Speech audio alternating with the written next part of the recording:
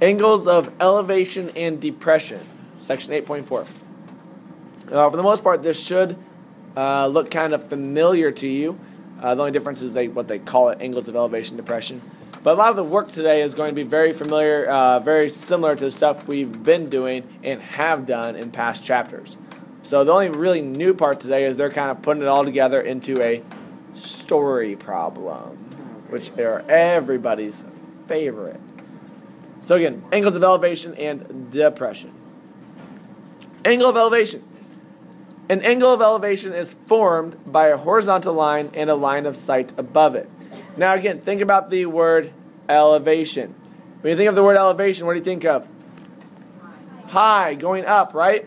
So the angle of elevation is the angle that is made when you kind of look up.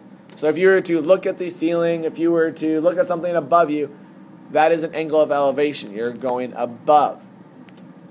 The what I call opposite of that or reverse of that is what's called the angle of depression. Uh, an angle of depression is formed by a horizontal line and a line of sight below it. When you see the word depression, what do you think of? Sad. Sad. What else do you think of? Like low, going down, right? You're down in the dumps. I don't know, there's a lot of different expressions for it. You're not high. But depression means you're going down. So the angle of depression is when you kind of look down. All right. Now, those red angles there, I kind of marked them red there. What type of angles are those? Now, think about that here. A little remembering from chapter 3, I believe it was. What type of angles are those? Interior? Close. Exterior? No, they're interior. What are they? Oh, they said op- opposite. Did you say opposite? No, it's not opposite. They're actually alternate interior angles. Yeah, those red angles would be alternate interior angles. So if these two lines are parallel, what does that make those two red angles? They are the same. They're congruent. Yeah. All right, and that's important to know today. So the angles of elevation and angle of depression, as long as those lines are parallel, they will be the same. They'd be congruent. So number one, classify each angle as an angle of elevation or an angle of depression. Number one, angle one. Is that an angle of elevation or depression? Is the angle going up or is it going down? What do you say, Ali? That'd be elevation. Nice job. So number one is elevation. Number two, what type of angle would that one be? Is that an angle of elevation or depression, Joe? That is depression. Great work. What about these two? Use the figure for exercises 3 and 4. Classify each angle as an angle of elevation or an angle of depression.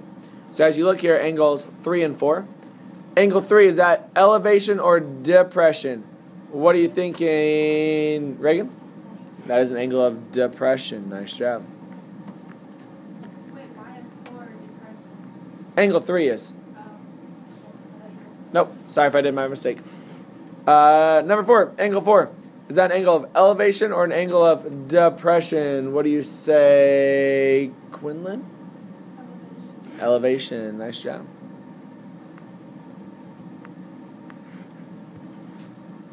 All right, take a couple seconds. Try these four. Now there's multiple angles up there.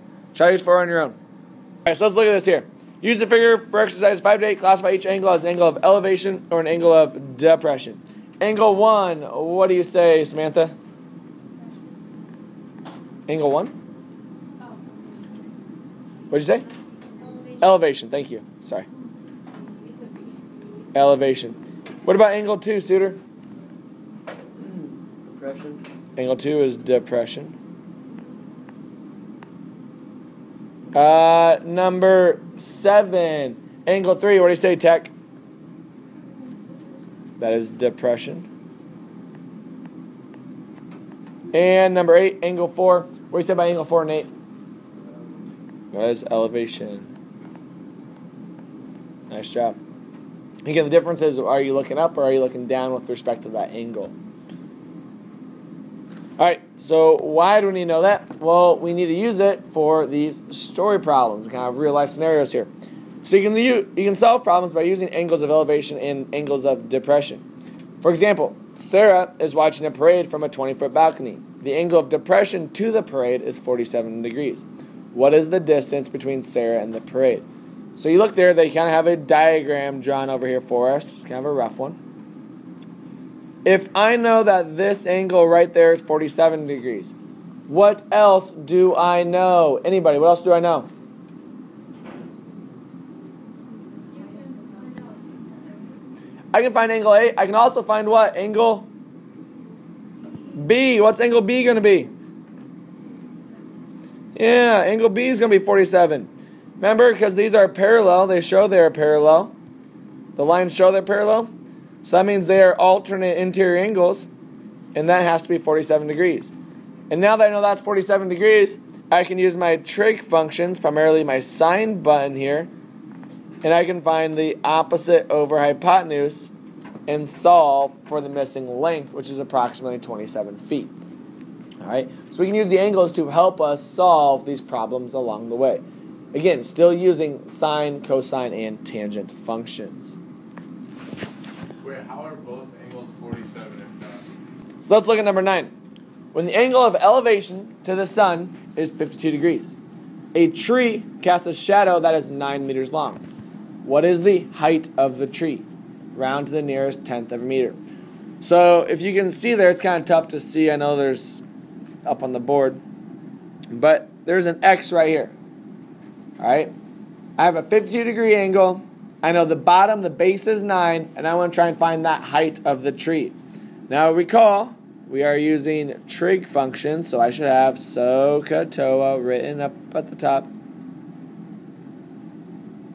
Now, as I look at this, I need to figure out which trig function do I need to use. Am I using sine, which is opposite over hypotenuse? Am I using cosine, which is adjacent over hypotenuse? Or am I using tangent, which is opposite over adjacent? Who thinks they got the correct trig function here? Anybody? Somebody said I heard. Starts with a T. It is tangent. Yeah, because I have the opposite and the adjacent angles, or sides, I should say, I need to use tangent. So I'm going to set up an equation here that says the tangent of 52 equals opposite is x over the adjacent, which is 9. So tangent of 52 equals x over 9. Now I need to solve for that. So I'm going to take tangent of 52 times 9. Tangent of 52 times 9.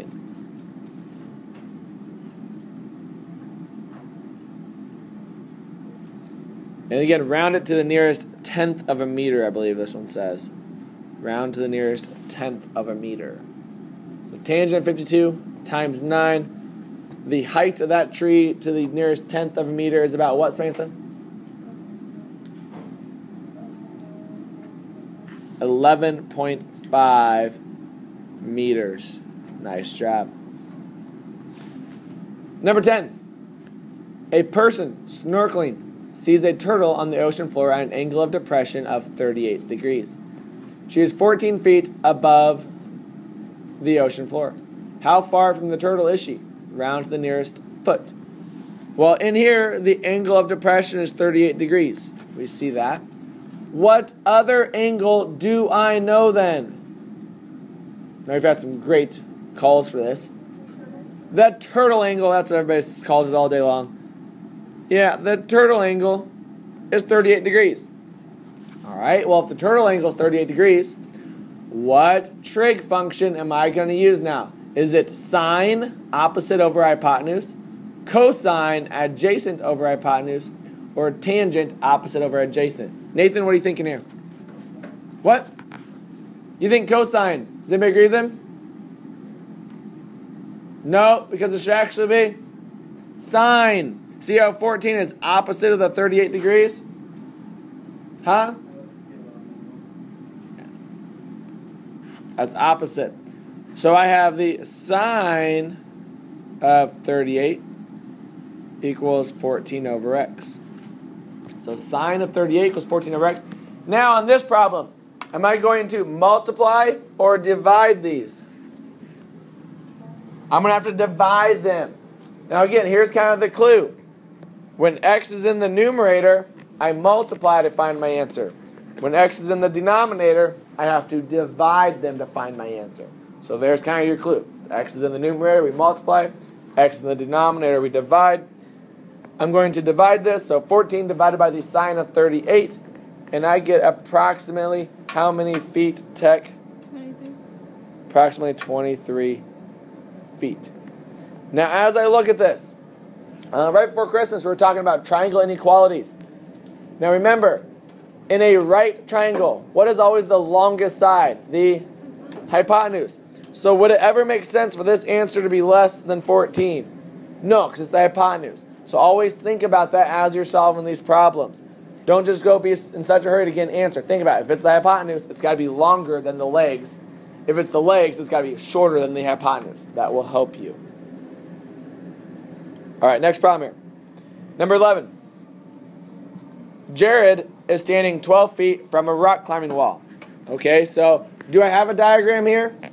No. What am I going to want to do on problems like these, though? I'm going to want to draw a diagram. Anytime you have these type problems, you will want to draw a diagram. So I have Jared. Oops, wrong guy. Jared's down here. He's 12 feet from a walk, rock climbing wall. And his buddy, you know, he's up here scaling it. He's pretty cool. I have some awesome drawings. It's all right. Um, when he looks up to see his friend um, ascend the wall, the angle of elevation is 56 degrees. So this angle is 56 degrees. How high up the wall is his friend? What am I trying to find here? I'm trying to find the height, right? So as I look at this, am I trying to find the hypotenuse or my other leg? Am I trying to find one or two here? I kind of labeled the sides if you see. Am I trying to find side one or side two? I'm trying to find side two because that's my height. So that means that's where my x goes. So here's my x. Now, as I look at this, which trig function am I going to have to use? When I think of so, ka, toa. When I think of SOHCAHTOA here, which trig function is this? Darian, what are you thinking? It is tangent. Nice. So I'm going to take the tangent of 56 equals x over 12. Now, as I look at a problem like this, am I going to multiply my answers or divide them? Multiply. Nice job. So tangent of 56 times 12. And I think this says round to the nearest foot. So as I round this one to the nearest foot, I get an answer that is, Amy, did you get it? Oh. What'd you say? 18. It is 18 feet. Nice job. Nice work. Again, the biggest thing on problems like these is you will want to draw a diagram just so you can visually see where the triangles are and what you need. If you can't visualize it, it's very tough to see what you need. Okay? Number 12, Maria. And plus, it's really cool just to draw diagrams. We include some art. Excuse me, students, if you are attending the Yes. No, yes. Uh, 12. Maria is looking out a 17 foot high window. Wait, well, can I go to this? there's kind of this building here. Hey, can I go? Yeah. There's Maria. She's inside the building. She's looking out there. Oops, wait. You know, there's some deer down here. I draw some awesome deer. I got some, you know, it's the first time that's happened all day probably. You know, I got some tails there. There's my deer. Okay, pretty awesome pictures. Gotta love the drawings. That's the fun part about math. You get some art there once in a while. But Maria's looking out a 17 foot high window. Well, that's 17 feet right there. Okay, either way you want to look at it, 17 feet. The angle of depression to the deer is 26 degrees. So that angle right there is 26 degrees. That's the angle of depression. What other angle do I know then? If I look at this, if my angle of depression here is 26 degrees, do I know the angle from the deer there? Yeah, because they're alternate interior angles. This has to be 26 degrees as well. Nice. Now it says, what is the horizontal distance from Maria to the deer? What's it mean to be horizontal? horizontal is like flat on the ground, right? So I want to find the horizontal distance, which is the flat on the ground distance. I want to find that distance right there. So as I look at this, which trig function am I going to use, Ali? I think you said it. That tangent function. Nice job. So I'm going to take the tangent of 26. And I'm going to set that equal to what here? Tangent of 26 equals 17 over x because it's opposite over adjacent. So the opposite of 26 is 17. The adjacent angle is x. Now am I going to multiply or divide these? Now I'm going to divide them. Nice job. So I get the tangent of 26 equals 17 over x, which means my horizontal distance to the nearest foot is going to come out and be approximately 35 feet. I didn't do it like that, If you round it a little bit differently, you might have gotten 34, but the best answer is 35 but I found this one. feet. Because you said it was right, and then oh, you said it was supposed to be this one. All right, try these next two on your own. The diagram at the bottom there goes for number 13. Number 14 uses kind of the same diagram, just one slight difference. Take a couple seconds, try these. All right, so let's look at this here. Lisa sees a bird's nest high in a tree. She decides to use trigonometry to estimate how high the nest is. Because why not? She must She's be really bored. She just loves her life. She's going to use trig to find, you know, how high the nest is. She must be really It's great bored. stuff. Like the Wi-Fi must be down, the power. So number 13, Lisa walks 15 feet from the base of the tree.